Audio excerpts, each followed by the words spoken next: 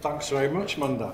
Um, yeah, you'll see from the billing that I'm here in two guises, both as um, the co-founder of Dig Ventures, but also a PhD candidate researching new tech-enabled modes of participation in what might be called the digital and collaborative economy. Um, now, a busy couple of jobs, you might think, and you'd be absolutely right. Um, the founder of LinkedIn, Reid Hoffman, says that founding a startup is like throwing yourself off a cliff and building the plane on the way down. I think if you add into that an 80,000 word thesis, welcome to my pain.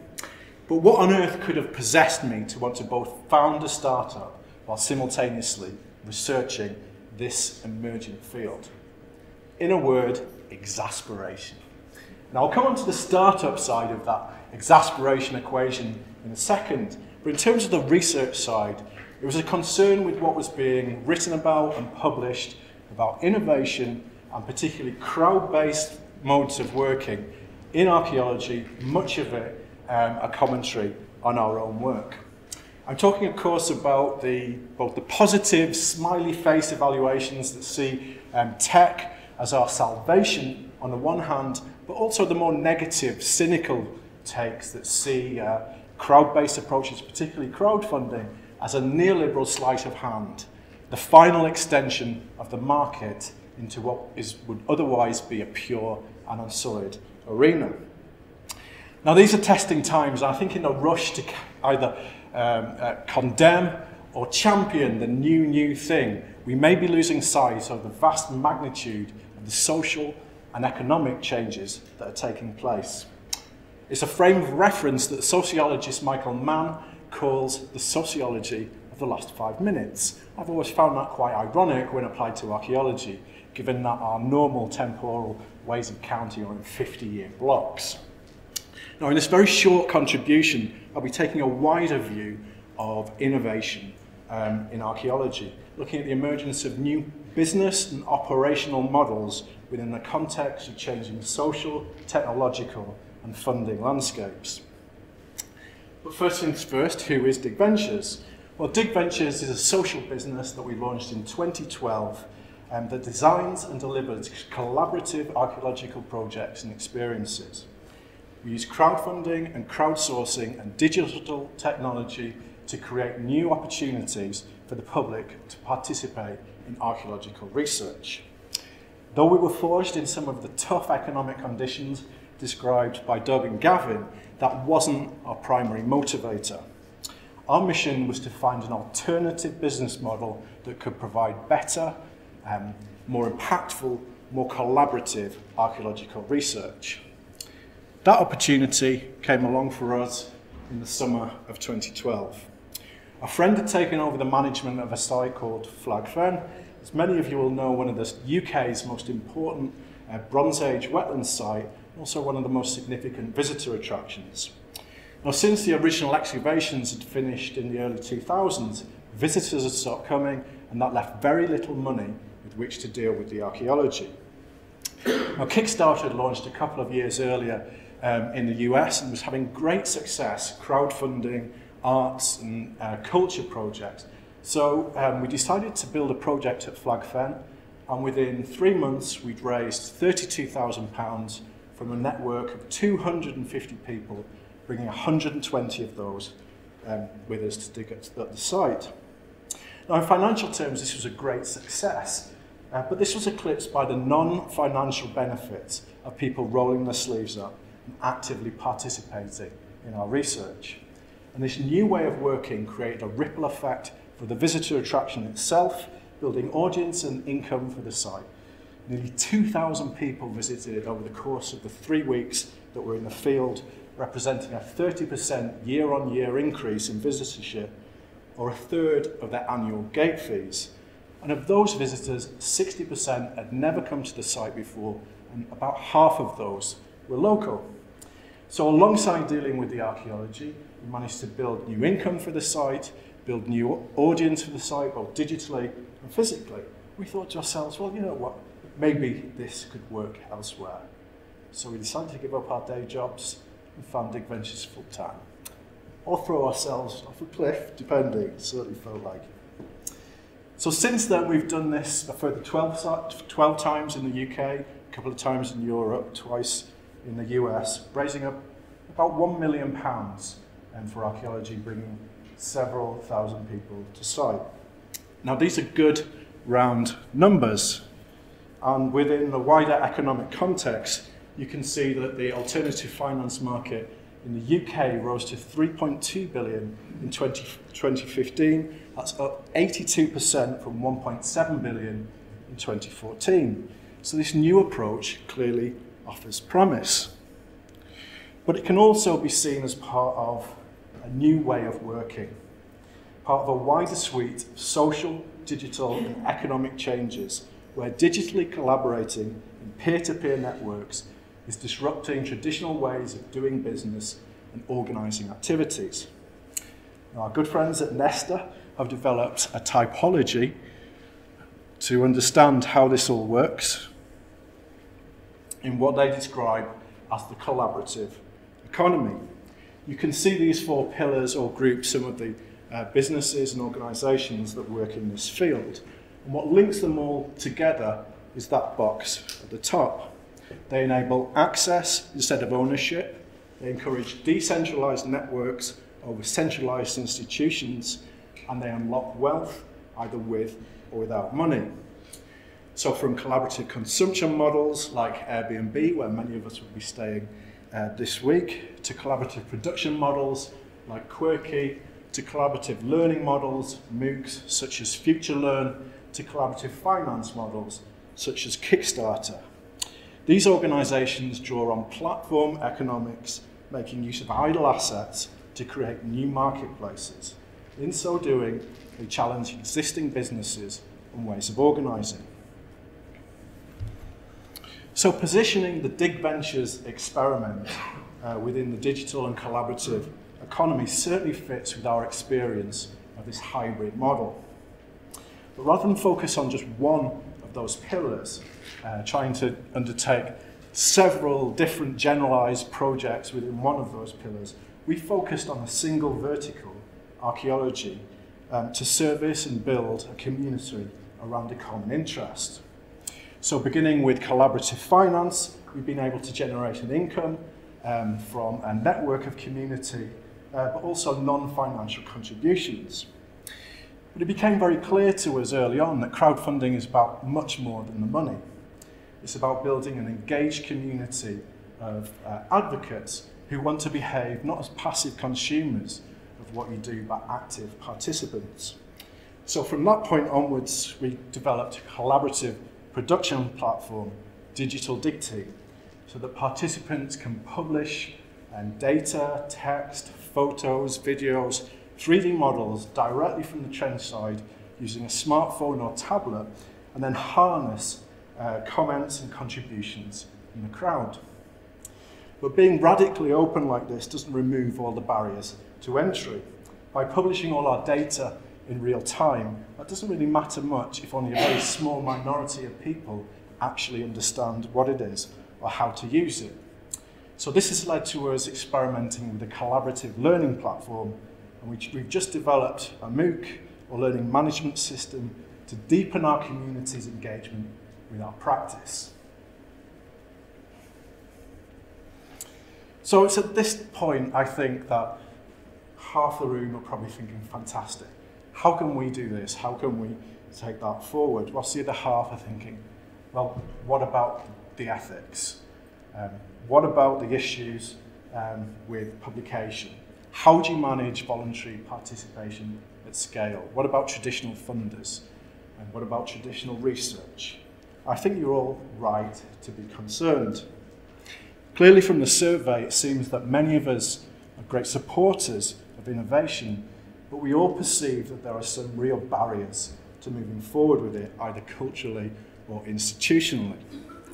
If I was to sum this up into a tweetable sentence, I'd say it's because the evolution of technology is far outpacing the development of an ethical practice that underlies it.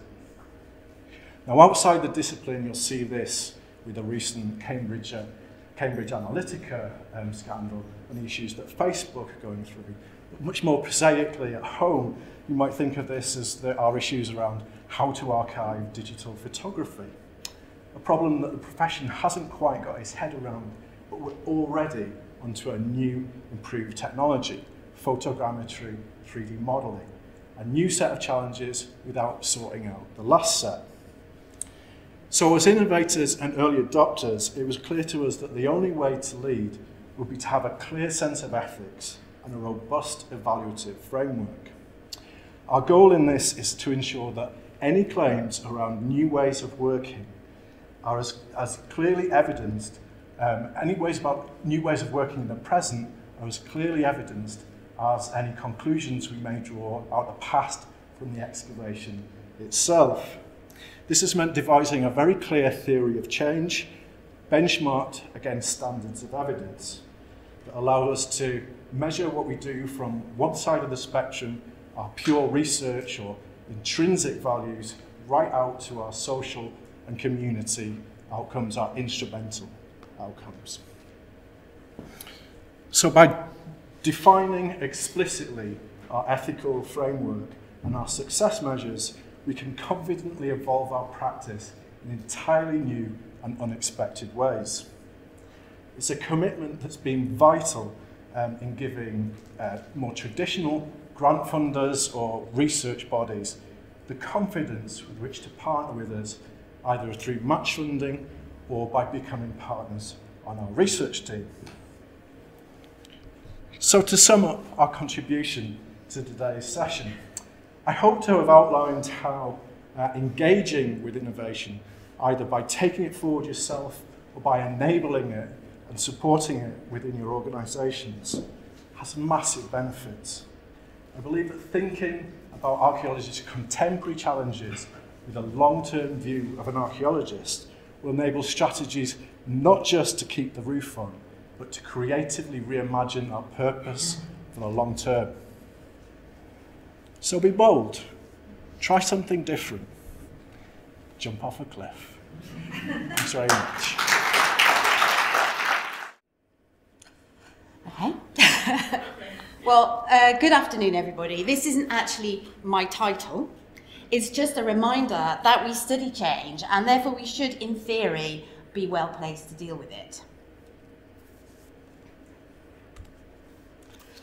I work for Worcestershire Archive and Archaeology Service, and this is a local government organisation. So, what I'm going to say about change and innovation is from this particular perspective. There are many ways, of course, to change and innovate at every different level within the profession, from the bottom to the top, um, but you need to find the right one for your organisation. We were created in 2012 and include archive collection services, including conservation, digitisation, user services, um, the HER and advisory teams, and a learning and outreach team which spans the genres. Um, any of you heard like the Mighty Boosh? Uh, it's uh, so that works across across all the areas, and I mean all the areas. As I've only got 10 minutes, I'm just going to outline what we have achieved so far and some lessons we've learned about making it and managing change. I have loads of documents, should anybody be interested. Right, you don't need to read all of this. And um, basically, it's the money. It's always the money. So if you look at the left-hand column and the right-hand column, you will see that our turnover has gone down a couple of hundred thousand pounds. We have lost some jobs and obviously that's a little bit more with inflation. Our funding, oh, I must say this does not include our commercial archaeological unit. This is our statutory, quasi-statutory and non-statutory services. So our county council funding was 1.5 million. Um, last year it was just over, well, 550,000, but of that, 200,000 went straight back to the county council to pay for HR, IT, etc., etc. Our external funding in 2011 was 117,000 and that's gone up to about 506. So in other words, from being in almost entirely county council funded, we're now half and half. And that reflects in, uh, in the how our staff are paid. So in 11-12, we had 31 funded and from the county council and six, and now it's half and half. And again, those figures don't include our commercial field archaeology. Right, so what is it we've got? What have we got over this time? It's what I like to call local government with privileges. Um, we have, and I am amazed at this, we have kept all our services together. Uh, we, uh, Worcestershire County Council is a commissioning body, and I thought we would learn, we would lose our field section and we would our Worcestershire archaeology, and we would lose the learning and outreach at the very least. In actual fact, we managed to keep it all together. Um, and as, as uh, the great Billy Bragg says, there is, there is power in our union. and more rightly, we are greater than the sum of our parts. I think this is incredibly important. We fought really hard to keep our services together because they support each other and enhance each other. And for us, that's a fundamental win. We keep the Bank of Worcestershire. Our grants come in in little dribs and drabs. Um, it's absolutely fantastic to just know that you have to make the money by the end of the year. We are not in a position yet to go out of that. It's really important to us. But we've got a surplus sharing agreement, no more budget cuts. We've got an investment in product development and marketing and the ability to carry over surplus. So I think that that is local government with privileges. Any of the, you that work in local government will realise quite how many privileges that is. So, that's where we are. So this is just, this is some, some little boys at one of our public events, so there's no more figures now. so I'd like to very briefly outline how I think you can achieve the right outcomes, whatever they are, for your service. Um, now, I think the most important thing is your vision, is what you want as a professional in your service. So what we wanted, what our goal was, our, our I suppose, five-year goal, was we wanted to keep all the elements of our service together and maintain enough st staff capacity to grow. If you lose too many staff, you fall over. So that was all we were asking. And our strategy, excluding our, our, our commercial archaeology service, was to increase external income well, we did want to do that, that obviously, but to increase external income, and largely in the first few years, that's come from grant income. But the problem with that, it's too many eggs in one basket, especially as the grants are all reducing. So over the last three years, we've been trying to develop commercial income. This is, for any of you that work in this sector, very difficult to do in statutory and quasi-statutory services, and we've got a long way to go. But we have, we have started that. So, how did we how did we achieve this? So that was our goal. That's what this is our strategy. How did we achieve it? Um, in my mind, it's really important. You have to hold two things in your head at the same time. So the first is, as an archaeologist or an archivist, is to stay focused on your principles, to remember the value for society now and in the future of the history and the remains of the human past not least the excitement of new discoveries that new discoveries generate. After all, we're in a democracy, so if, if people don't think we're of any value, they're going to get rid of us. Right. But at the same time, we need to use the language of the people who are in charge of us. In the case of the county council, that's money. Right. It is no good saying we are really important. Because quite understandably, the councillors and our directorate are going to go, oh, and children's services aren't, you know, and we still need to pay for roads. And by the way, we've got to get rid of the rubbish. Just don't even go there. You just keep that in your head. So in our case, what we needed to show was good value or best value. We needed to demonstrate that we were cheaper than other similar organisations but did more. We need to recognise and deliver the County Council objectives and, if possible, demonstrate that um, you enhance the regional and national reputation of your organisation. Councillors love that. Um, and, and also, using every method you possibly can, you must engage your community. So, that's, that's that's how that's how we try to uh, have tried to put forward our arguments using those techniques. So, but I've got some top tips as well. Um, it's about leadership, not management. And by that, I don't mean just leadership at the top of an organisation, I mean leadership all the way through. All your team must be clear on your goals and your strategy for advancing them, and this can take some time. People are not necessarily used to working in this more commercial way, particularly we found in the archive sector. That archaeologists were a bit more used to it. And convincing them is the key to success, but that's what you've got to do. Second top tip always do it to yourself before someone else does it to you. That enables you to retain control as much as possible. Never pretend it's just going to go away, because it won't. Um, um, the third one is um, create great advocates, and that's lots of different advocates. So, obviously, you need to create advocates in the community. As I said, it's a democracy. Um, but you also need to focus on the business community because they provide advice, but also a different kind of more powerful advocacy. For instance, we worked with the Chief Executive of the Chamber of Commerce on our first iterations of our business um, plan, and he went with me to see the director, and he said, John, it's a no-brainer. Now, that's quite useful in the county council setting. It did take three years to get it, but you know, you've got to start somewhere. Um, also, use your friends' associations or interested local people with influence. But there again, you have to be careful. What we did, we, we dissuaded our friends from writing angry letters to the county council. And we asked people to write to the county council, but to say how they understood that times were really hard and it was terribly difficult for them and they were trying to balance all this stuff.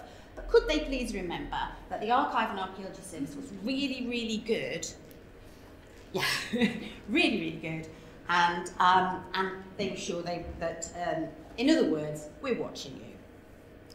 Um, but the most important thing is to create advocates in your own organisation. All through the process um, of this change within the County Council, we've needed advocates in HR, procurement, finance, commercial teams, admin, IT and other service managers. Without them, it would have been 10 times more difficult most people will help if they can. And these colleagues are actually your greatest allies in making your case, and they are in all the meetings you are not. So, yeah. Okay, last thing. Be resilient. Easy to say, hard to do. If you have to be bloody minded, if you have to rewrite the same business case five times in five different ways, just do it. But to do that, you need to build resilience in yourself and others. If we're not careful, much of our energy is spent by all of us, and I've done this loads of times, on things we can't change, leaving us little emotional energy to deliver the change we can. Now, there are many ways to kind of deal with this, but I found this one is quite useful. Very quickly. Look at all your problems, identify the things you can change, change them. Look at the things you can influence, start to influence them. Things that you have no influence over, forget um, obviously, depending on where you are in the, in the food chain, that will be different. It's, it's a really simple tool, but it works quite, it works quite well. Finally, do not fear. Things are hard, but they've been harder. Um, as I did mention, I've been around a bit. in the archaeological world, yeah. And I, although nobody wants this, I, I have observed that lack of money and changes in regulations do drive change, which not all of it is positive, but a lot of it is positive. This is not the end of British archaeology. It is, however, a period of great pressure and change. But if we hold on to our ideals and work together, something different and more suited to the 21st century will come out of this and we will have created our own little bit of.